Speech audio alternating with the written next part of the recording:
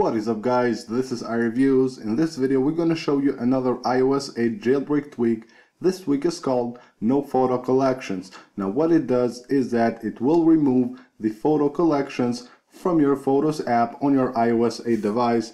As you can see right here, if we go to the Photos app, all we have here is the albums and here we don't have the photo collections and if you go to settings, here under no photo collections, all you have here is an enable and disable button. If you enable this, then it will show the photo collections. If you disable it, it will remove it from your Photos app. And now all you have is just a simple Photos app with your albums and that's all. Now you can download this tweak for free from the Big Boss repo. I hope you guys enjoyed and don't forget to subscribe to our channel.